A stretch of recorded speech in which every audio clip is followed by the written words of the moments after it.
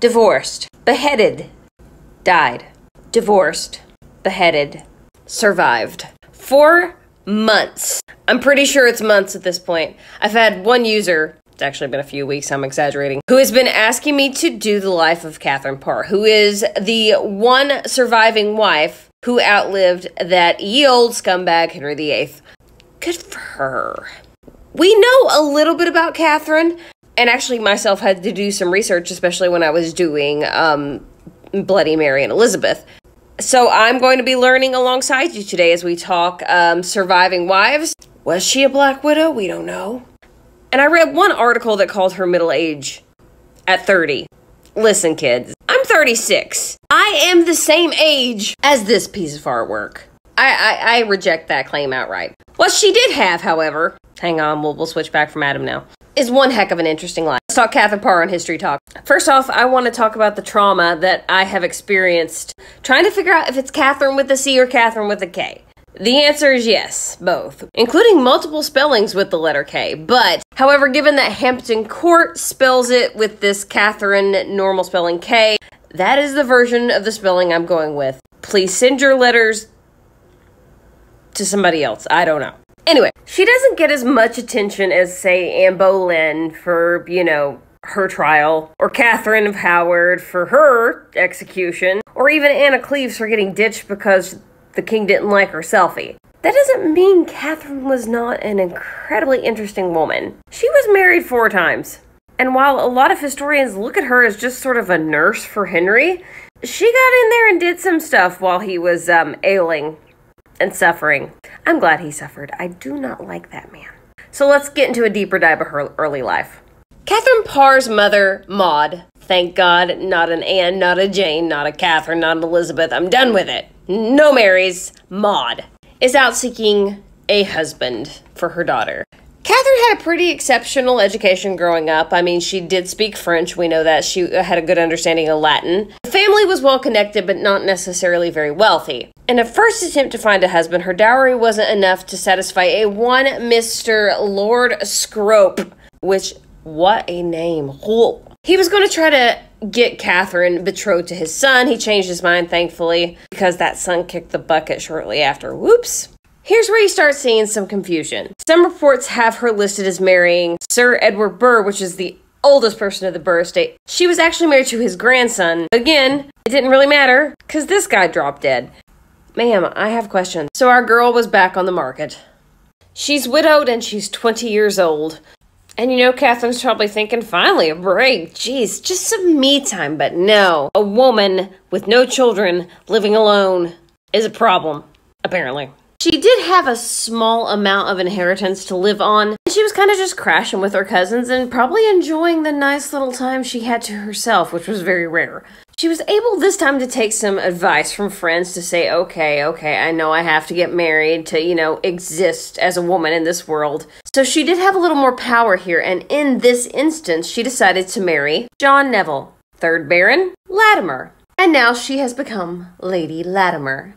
Nice alliteration, I like it. But if Catherine was hoping for like a nice, peaceful repose in her new northern home, she ended up in the middle of a rebellion. The Latimers were forced to join with the enemy, although they claimed it was under duress. Henry VIII and his crew managed to thwart this from becoming full civil war. It just feels like our girl can't catch a break. She just got remarried, and now their nice little quiet castle is caught up in a Yorkshire uprising. P.S. I just found out it was called Snape Castle.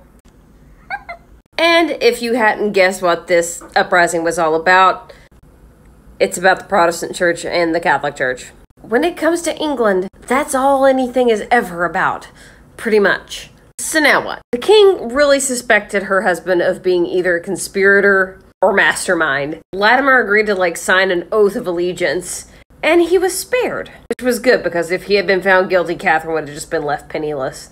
By 1542, her husband had become ill and she nursed him until he passed away in 1543. And it's about time for Catherine to meet the great love of her life. No, not that one. That one. And ladies, he's a little bit problematic. No, no, he's a whole lot problematic.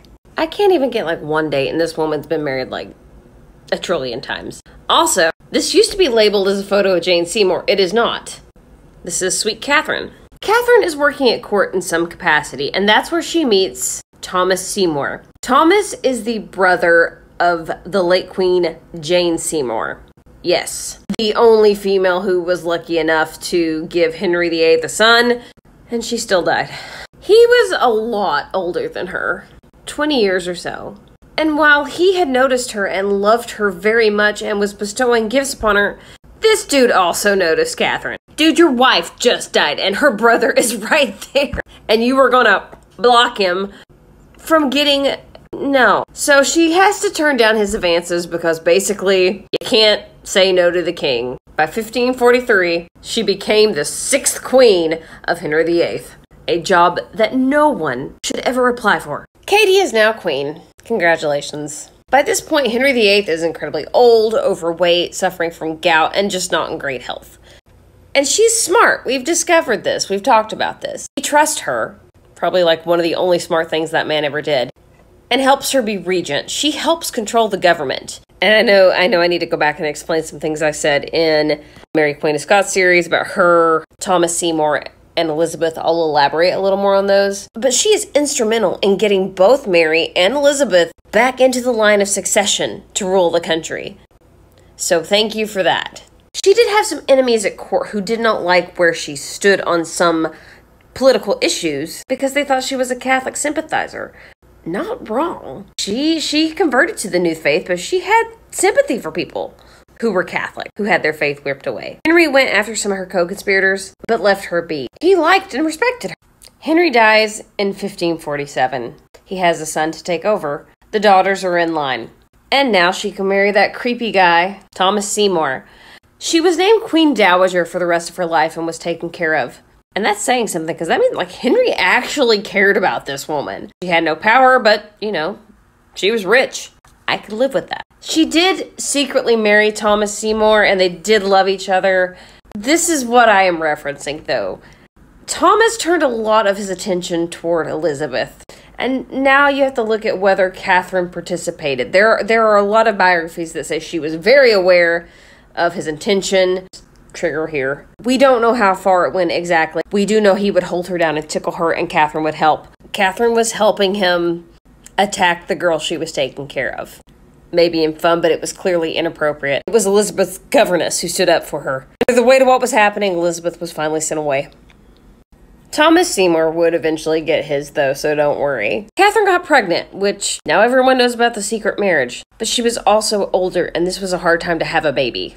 They had a daughter named Mary. Why was everybody named Mary? Why? Catherine would die from childbed fever. During her delirium, she accused Seymour of bad behavior, which we all know was true. Thomas would eventually get decapitated for treason. Not sorry. Sorry. No, no, no, not sorry. Catherine's daughter did not live very long, they think. She lived to be a toddler, maybe two years old. Her funeral was the first Protestant burial of a British queen. She wasn't perfect. She made mistakes. But for a woman with little power, she did some pretty interesting and amazing things. So kudos for that. It is so hard to do something so vast as the Tudor wives. So first let me show you my friend Wendy Weather here. She did a video on each of the wives amazing, good in detail, and I know there's so much stuff I missed. These stories are so complicated, and I know there's periods, long periods of times missing from some of these. So if you want more information, highly suggest you go to Hampton Court's website that has like a serious breakdown of the timeline of her life. I also know I really didn't mention Anna Cleves or Catherine Howard in there, mainly because one, I think more people know their stories, but also for the sake of time, there are just some things that I have to leave out. Uh, nobody's complaining or anything. I'm just letting you know in advance. Let me give you some resources if you want to know more. There's the website tudortimes.co.uk that breaks down all the queens. I actually found a fun little website that's um, called sixwives.info. I didn't use it, but it does have a broken down timeline. There's just too much to get into for a 60 second video, but please go learn about these amazing women. Please go. Seriously.